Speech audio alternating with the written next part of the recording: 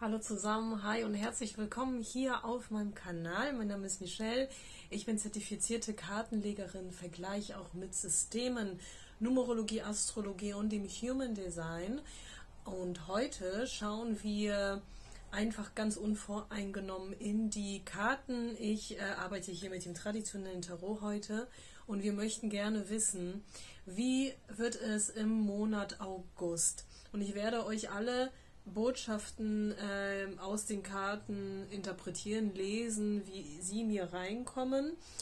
Vielleicht bekomme ich auch sehr philosophische Botschaften rein, die auch noch mal über den August gehen, also die lebensübergreifend sind. Wir sind sehr offen und voreingenommen, wie gesagt, denn Spirit möchte ja durch uns sprechen und für euch ähm, soll es die Botschaften geben, die wirklich relevant sind, die auch transformativ zum Positiven sein können. Ja, ähm, herzlich willkommen für alle, die hier neu sind auf meinem Kanal. Ähm, ich heiße euch sehr herzlich willkommen hier. Macht's euch gemütlich und für alle, die schon äh, lange dabei sind, ähm, einen herzlichen Gruß an alle, äh, die hier weiter schauen. Ähm, ich mische natürlich hier live. Was heißt natürlich? Jetzt diesmal mische ich live. Ähm, kann auch immer noch ein äh, gültiges Orakel sein, auch wenn Leute jetzt nicht live mischen, sondern schon vorgemischt haben. Ich mische halt live und äh, wir gucken einfach mal. Macht euch schwer, erdet euch. Ähm, dieses Erden kann auch wirklich sein, dass wir, ähm, das, also ja, das ist auch schon sehr gut, wenn wir wirklich uns schwer machen, wenn wir ähm, auch mal wirklich loslassen, also alles so Richtung Boden einfach fallen lassen, wirklich so auch uns entspannen. Das ist auch schon Erdung. Ich sage das so gerne, ähm, weil viele Menschen heutzutage sind nicht wirklich geerdet. Wir sind oft gestresst, hetzen von einem Termin zum nächsten, ja je nachdem, in was für einem Leben, naja, du jetzt gerade steckst. Macht's euch gemütlich, wirklich. Ähm, ich weiß ja nicht, wie du das Orakel schaust, ja, vielleicht äh, guckst du auch zwischen Tür und Angel. Ich mache das auch manchmal so beim Kochen oder so. Ich habe jetzt hier eine schöne Tasse Tee vorbereitet. Dieses Video ist ein reines äh, Orakel-Video. Ich mache auch Musikorakel und habe auch schon den Song ähm, die Botschaft, die Songbotschaft für den Juli für euch gezogen in einem anderen Video, was ich vorher schon gemacht habe. Ähm, und zwar, ich bin auch Künstlerin und Sängerin und ähm, lebe hier quasi so mein Herz, meine Herzensleidenschaft für euch, die Musik plus die Spiritualität.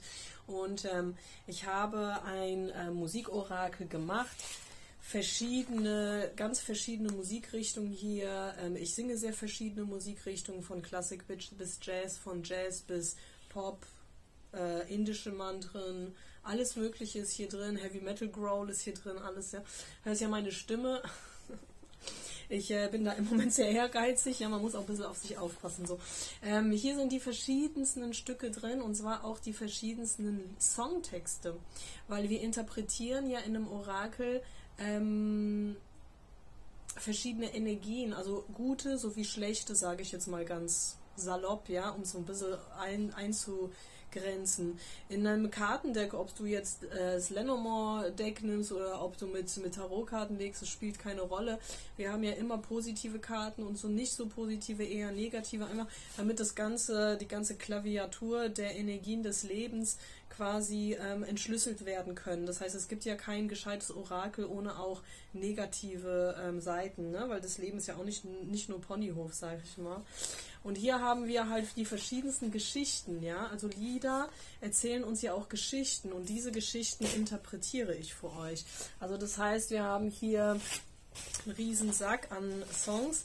Ähm, diese Stücke, die sehen alle gleich aus. Das sind halt solche weißen Posters, wo ich die Stücke aufgeschrieben habe. Und hier habe ich auch die Mappe mit Texthilfe für mich. Das ist nicht unbedingt mein Repertoire, sondern tatsächlich ähm, das Repertoire fürs Orakel, ja. Ähm, ich habe jetzt nicht einfach die Stücke genommen, die ich auswendig kann, sondern welche, die echt ins Orakel passen. Ähm, damit wir auch wirklich eine Bandbreite an, ähm, an Geschichten, also ne, ihr wisst, was ich meine, an Szenarien haben. Szenario ist ein gutes Wort hier in dem Zusammenhang. Im zweiten Video äh, bekommst du dann auch das live gesungene Stück von mir, Ähm, zuerst singe ich das Stück und dann interpretiere ich den Text mit euch. Ihr könnt natürlich selber mitinterpretieren und wenn euch noch eine Deutung für euch persönlich einfällt oder ähm, oder generell, dann könnt ihr das auch sehr gerne in die Kommentare schreiben. Genauso freue ich mich über Kommentare jetzt auch natürlich zu dem Orakel, ähm, falls es mit euch resoniert hat. Oder auch nicht oder wie auch immer. Ähm, das kann natürlich auch, ähm, es ist halt ein allgemeines Orakel, da werden, äh, das, da wird jetzt viel resonieren, weil du halt auch intuitiv hierher geführt worden bist, sag ich mal. Aber es muss auch nicht, weil wir sind in einem kollektiven Reading. Ich ähm, benutze heute das Universal Tarot, ja, das ist das, das traditionelle Tarot, ähm, aber halt als Universal-Version. Und das Dark Fairy Tarot aus dem, habe ich vergessen, Verlag. Okay? Ich habe schon hier das Okay bekommen von den Karten. Los Carabeo, aus dem Los Carabeo Verlag ist das Dark Fairy Tarot. Alright. Die erste Karte ist hier so die signifikante für den Monat August. Um was geht es da? Oh, um Aggression. Also hier sind ähm, Aggressionen entweder in deinem Umfeld, wo du vielleicht Menschen triggerst. Äh, wenn du das jetzt so hörst, ähm, manchmal müssen Menschen mal getriggert werden, damit sie mal ein bisschen aus dem Push kommen. Das heißt, manchmal ist es auch gut, wenn wir mal jemanden triggern. Manchmal kann es aber auch sein, dass das problematisch ist, wenn wir jemanden triggern. Das ist ja erstmal so die erste Karte, die mir hier reinkommt. Ähm, weiter kann es auch sein, dass das deine eigenen Aggressionen sind ähm, oder wir haben Aggressionen in irgendeinem Sinne, die wir uns nicht ganz eingestehen. Das hat überhaupt gar nichts mit ähm, Unehrlichkeit oder Selbstlüge zu tun unbedingt. Manchmal ist es so, wir haben irgendwie Wut in uns, ne? Gerade für die Leute, und da lasse ich gerne auch mal in die ähm, Deutung mal das Human Design mit einfließen. Das fließt auch äh, nach Bestellung. Du kannst natürlich auch gerne ein allgemeines Reading haben für dich, ne? Also da könnt ihr mir jederzeit eine E-Mail schreiben. Unten steht meine E-Mail-Adresse michelledirelle.gmail.com und ein privates Reading für dich buchen. Ähm, beziehungsweise einfach erstmal mich so anfragen per Mail, wie das funktioniert. Das ist überhaupt noch gar keine Bestellung oder sonst was. Oft äh, schreiben mir die Leute schon vorab einen Schwank aus ihrem Leben, was gut ist, wenn es kein ganzer Roman ist, also ähm, aber so ein bisschen was lese ich gerne von dir im, im äh, Vorfeld äh, dann kann ich dir zum Beispiel auch eine Methode anbieten. Also ich arbeite mit den Karten, tue aber auch die Zahlen miteinander kombinieren. Also quasi deine Geburtszahlen. Okay, aber das kann man dann absprechen, je nachdem, was für ein Problem du hast oder Thema du hast. Problem sage ich ungern, sagen wir Herausforderung. Ne? Also einfach für alle, damit ihr Bescheid wisst, unten ist meine E-Mail-Adresse für alle Fälle. Ähm, genau, also das ist hier auf jeden Fall eine Aggression. Was mir auch voll reinkommt, ist so, Leute äh, ignorieren dich, weil, ähm, weil du sie triggerst oder Leute ignorieren dich, weil ähm, irgendwas in dir, mh, mm, sie, sie agieren jetzt nicht aus, im Grunde, also im Sinne von, die Leute in deinem Umfeld, das ist einfach alles, was mir intuitiv reinkommt. Du musst halt prüfen, inwieweit das dann auf deinem Leben passt, dann im August. Das ist halt, wie gesagt, ein allgemeines Reading. Ich sag Freischnauze tatsächlich, was mir hier aus den Karten reinkommt. Die Leute fühlen sich getriggert von dir ähm, sind aber, ähm, lassen ihre Aggressionen so oder das, was in ihnen Wut auslöst, das kann auch einfach Wut sein, ja, Aggression ist gleich so ein böses Wort jetzt, also es muss nichts Schlimmes sein, aber sie agieren das nicht an dir aus, sondern sie ignorieren dich, ja, ähm, auch nicht so schön, aber besser als, als jetzt ein schlimmeres Szenario. Naja gut, aber das ist jetzt die erste Karte. Wir schauen auch natürlich jetzt äh, gleich, was kannst du tun, ja? Wie kannst du den Monat dir toll machen? Äh, vielleicht musst du das Umfeld wechseln, ja? Oder vielleicht kannst du, naja, nach und nach, nach und nach irgendwie aussortieren und austauschen wer nicht lernt, der kann doch ausgetauscht werden. Ne? Also ich finde dann immer so, wenn die Leute sich nicht, also wenn du einfach deinen Weg gehst, ja, und irgendwo ähm, andere inspirieren könntest, andere sich aber von dir wütend fühlen oder so, ich sag mal, getriggert fühlen. It's not your problem, baby. Was haben wir noch? Ja, drei der Kelche. Wahrscheinlich, ja, ja, ihr kennt viele Menschen. Vielleicht arbeitet ihr mit vielen Menschen, vielleicht gibt es viel Kontakt insgesamt, ja. Vielleicht äh, gibt es viele Menschen, die irgendwie, ähm, ja, was weiß ich, dich auf äh, Social Media verfolgen oder so. Oder wenn nicht, dann äh, im Freundeskreis, im Bekannten, im ähm, Kollegenkreis, ne? Du kennst halt viele Menschen. Das bedeutet, wenn man viele Menschen kennt, drei der Kelche, dann kennt man tolle Menschen und auch nicht so super tolle, so. Aber da man jetzt viele Leute kennt und die drei der Kelche an sich eine positive Karte ist, schauen wir mal, was kennst du denn für Leute? Ja, ja, das sind so Lästerbacken. Die fühlen sich getriggert, ja? Das sind so Menschen, die so äh, vielleicht hinter deinem Rücken auch einfach lästern. Okay, noch eine Karte zu den Menschen, die irgendwie warten. Das sind Menschen, die warten, die sind selbst nicht sehr proaktiv. Das sind oft Leute, die ähm, mit dem Finger auf andere, auf andere zeigen, aber selber nicht aus dem Push kommen. Ne? Weil die warten und warten zu. Das Human Design System sagt zum Beispiel, dass ein Generator warten soll. Aber das heißt nicht, dass ein Generator deswegen ähm, aufhören soll zu leben, nur weil die wichtigen Dinge meist durch Einladung kommen. Das wird sehr oft zu dogmatisch interpretiert, ja. Ähm, du sollst schon auf dein Gefühl hören. Wenn dein Bauchgefühl dir sagt, leben, dann lebe, ja. Wenn dein Bauchgefühl dir sagt, mm -mm, das stimmt jetzt eigentlich nicht mit meinem Körper überein, das äh, kommt mehr aus dem Kopf, dann warte. Also ähm, es ist wir können es nicht so einfach über ein. Manchmal wurde man schon eingeladen und man kann sich nicht mehr so erinnern, weil man hat es nicht vom Kopf her als Einladung interpretiert. Also das Leben ist nicht so einfach. Man muss immer auf sich hören. Das ist auch meine jahrelange Erfahrung, ja. Und wenn du darin Hilfe brauchst, wie gesagt, ich stehe dir immer zur Verfügung. Ihr könnt mir wirklich immer schreiben. Äh, der persönliche Kontakt, der, ähm, der wird dann sehr, sehr bald vonstatten gehen. Klar, ich bin auch am Arbeiten und äh, schau einfach, dass ich dich dann natürlich mache auch Platz für euch, für die Beratung, ganz klar. Ähm, aber länger als drei Tage auf ein Reading wartet man bei mir in der Regel nicht. Ja? An den Vormittagen habe ich dann zum Beispiel oft Zeit, so dass ich dich sehr gut unterbringen kann. Im August habe ich zum Beispiel sehr viel Zeit. Also da könnt ihr euch sehr gerne melden, weil da habe ich Sommerferien. Ja, wir Lehrer haben Sommerferien. Ähm, ja, wir, ähm, also ich bin ja Coach und ich bin ja auch ähm, Musikcoach für Gesang und für Klavier. Und äh, ich unterrichte viele kreative, lustige, süße Kinder, die offen sind für das Leben und nicht ganz so verbohrt. Und ähm, wir Musikschullehrer, ich bin halt an der Musikschule gerade so. Äh, wir Musikschullehrer, wir haben Ferien ohne äh, haufenweise ähm, Klassenarbeiten korrigieren zu müssen, sondern ich habe richtig frei. ähm, genau, also vielleicht trigger ich jetzt jemanden. Nein, Quark. Ich meine das natürlich so ein bisschen äh, mit einem Augenzwinkern. Alles, was du hier siehst auf dem Kanal, mein Coaching, aber auch meine musikalische Tätigkeit, das biete ich auch an. Also einmal die Beratung, wie ich schon eingangs erwähnt habe, ähm, aber ich biete auch Gesangs- und Klavierunterricht an. Also da könnt ihr euch einfach frei fühlen. Du kannst auch so mal mir schreiben per Mail und sagen, äh, was, äh, ob dich mein Kanal berührt hat oder wie auch immer. Also da freue ich mich immer über euch. Ne? Genau. Was wir machen jetzt folgendes. Noch eine Frage zum Umfeld. Aha.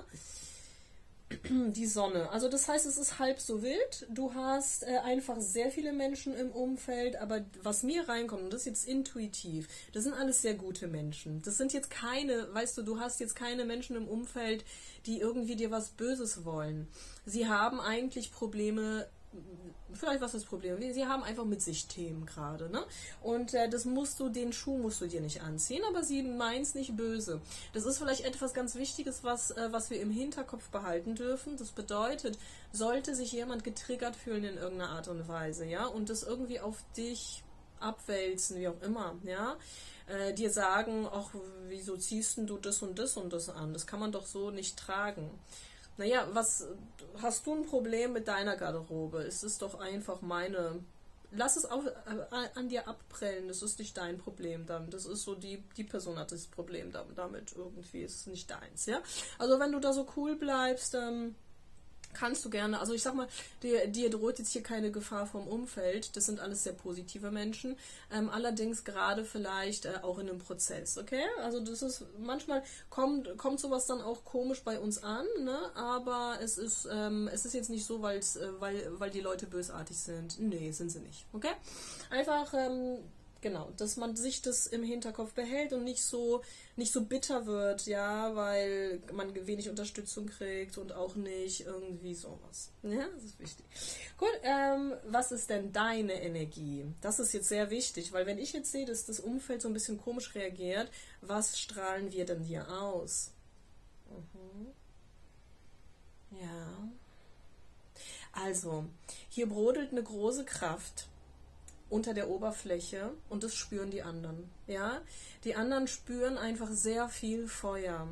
Feuer, ähm, vielleicht eine versteckte sexuelle Kraft, eine versteckte Wut kann das hier mit der Kraft auf dem Kopf auch sein. Das ist etwas, ähm, was Leute spüren, ja.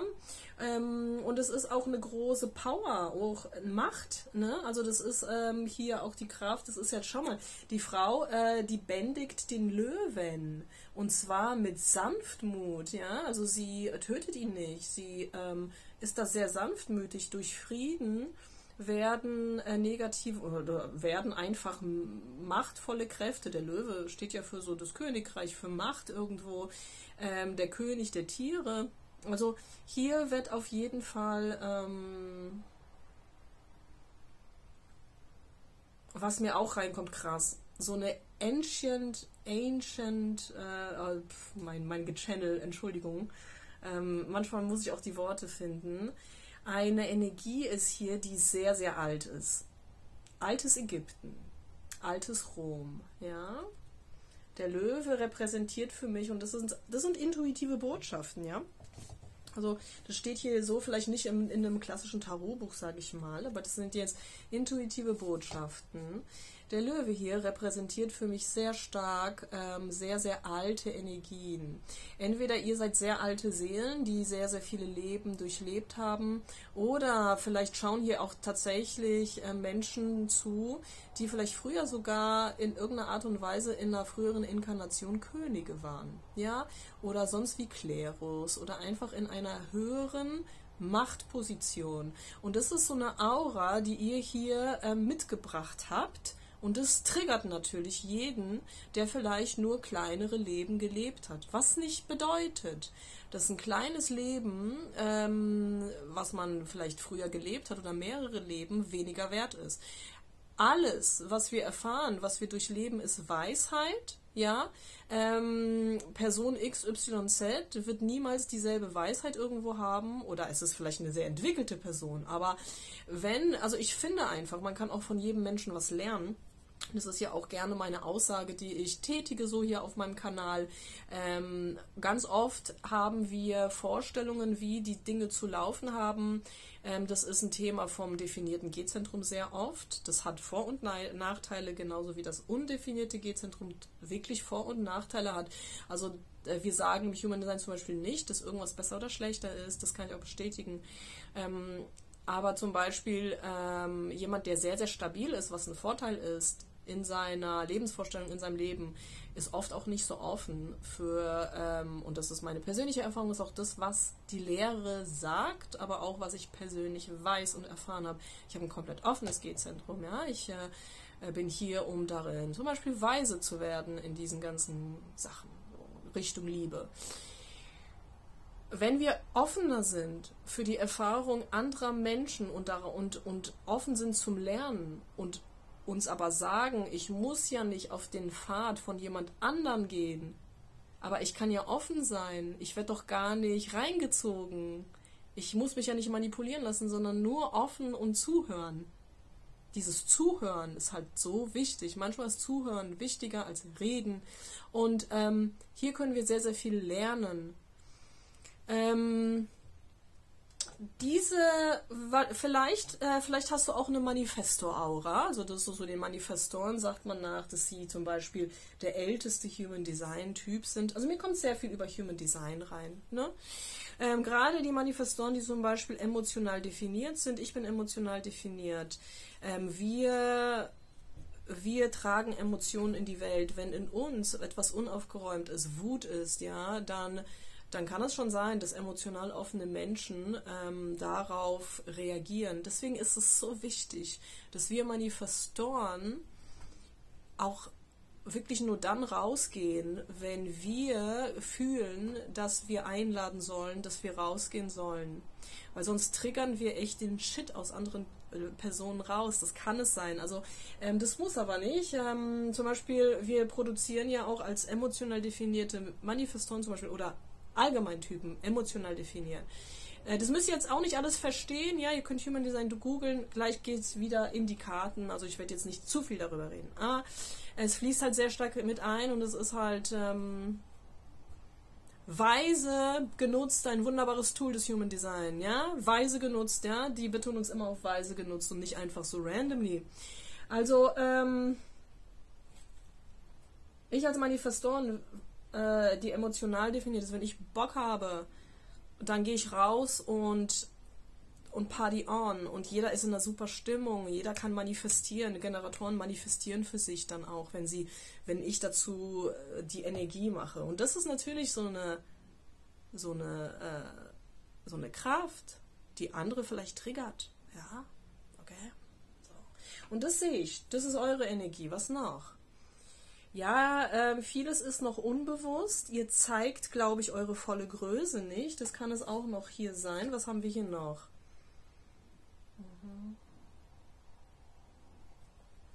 Ich möchte noch Klärungskarten dazu.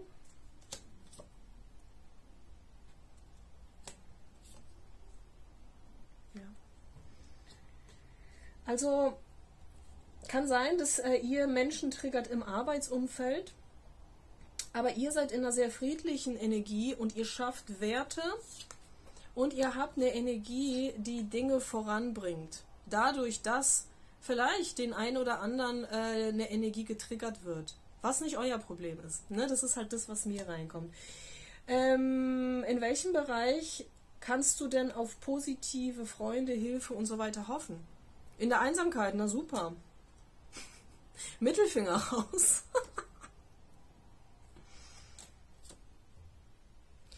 Ja, das ist halt das große Problem. Also leider im August sehe ich, dass ihr, dass, dass sich doch viele Menschen vielleicht von euch zurückziehen werden, weil ähm, das nicht matcht so richtig. Was denken denn andere über, über uns, über euch?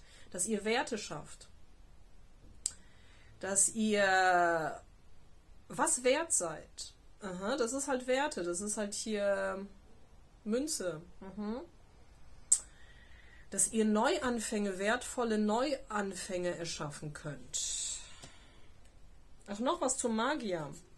Wenn dir das nicht reicht und du sagst, nee, ich möchte nicht in, im stillen Kämmerlein ständig sein, ich möchte schon gerne auch Soulmates kennenlernen, meine Seelenfamilie um mich herum haben, Unterstützung bekommen, dann musst du das initiieren und zwar spüren, wer braucht meine Hilfe und wer kann mir dafür auch helfen und mich unterstützen. Vielleicht sollt ihr auch oder wir auch ähm, ein neues Umfeld aktiv suchen und manifestieren und initiieren. Ja? Was denken Leute noch? Ja.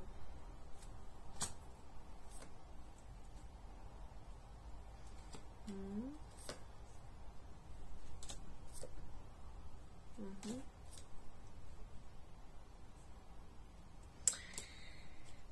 Also viele denken, dass, dass ihr so wertvolle Einzelgänger seid, die ähm, sehr viele Werte schaffen, gerade monetär. Und ich glaube, das ist halt auch gerade für viele hier im beruflichen Bereich, ja.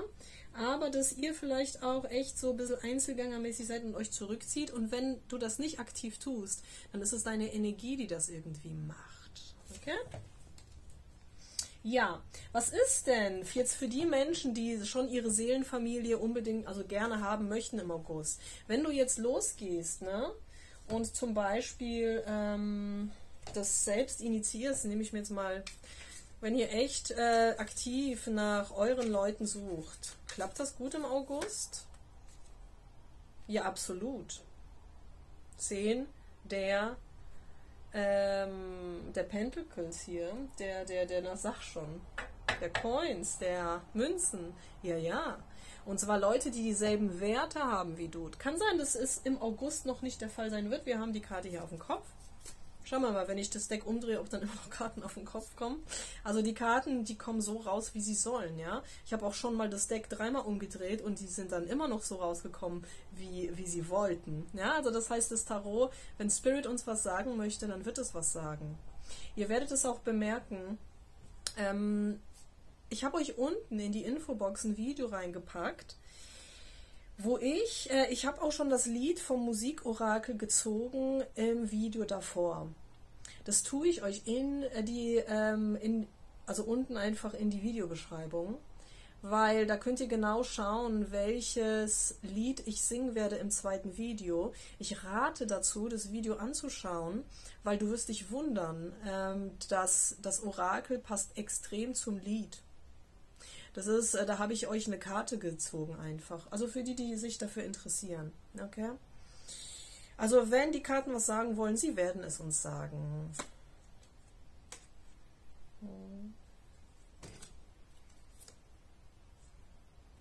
Ja, ja. Also, das können, ihr könnt Leute hier manifestieren, die extreme Werte in euer Leben bringen und wo wirklich geben und nehmen so dermaßen auf einem hohen Niveau ist, dass du dich umgucken wirst. Wahrscheinlich wirst du sogar finanziell, werdet ihr entweder zusammenarbeiten oder eine Ehe, eine Verbindung eingehen, die sogar Werte und Geld vermehrt. Und jetzt sage ich etwas und es ist mir egal, ob sich jetzt jemand getriggert fühlt oder nicht. Ähm, verschwende deine Zeit nicht mit Losern. Ob jetzt freundschaftlich oder in Beziehungen. Okay, weil ihr seid einfach, äh, das müsst ihr euch nicht geben. Aber ich trigger ja niemanden, denn es ist ja dein Orakel und es ist ja für euch dieses Orakel. Ne? Ich zeige euch mal kurz die Karten, einfach damit ihr so ein bisschen die Karten seht. Ne? Alles schön live gemischt für euch. So, gucken wir mal. Ja, hier sind so die ganzen Karten die ich jetzt hier für euch so gezogen habe. Mhm. Ja. Und jetzt ziehe ich euch noch so ein paar Highlights. Einfach mal, was wird denn so privat sein?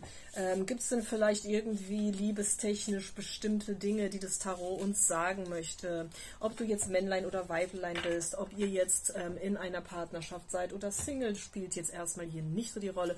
Ich möchte gerne die Energien anschauen.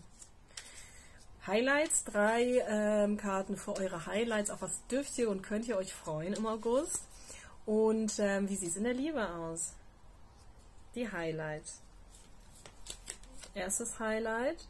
Ja, finanzielle Sicherheit wird sich einstellen oder ihr werdet für die Leute, die Geld sparen möchten, ähm, werden auf ein sicheres Fundament kommen, aber hier ist doch so Sparsamkeit auch sehr, ja. Wahrscheinlich werdet ihr euer Geld jetzt nicht in vollen Händen ausgeben, sage ich jetzt mal, sondern das ist mehr so eine sparsame Energie, aber ihr haltet das Geld zusammen.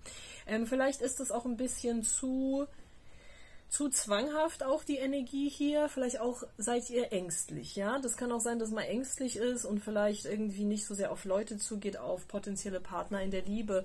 Das, das müsst ihr mal für euch prüfen, ob ihr vielleicht nicht zu starr seid in manchen Dingen. Das ist noch so die Schattenseite der Karte 4 der Münzen. Mhm. Ihr seid sehr kreativ, sehr medial, ähm, ihr habt sehr intuitive Fähigkeiten, wenn ihr euch weiterbilden möchtet in der Spiritualität oder in der Kunst ähm, dann könnt ihr das sehr, sehr gut tun im August.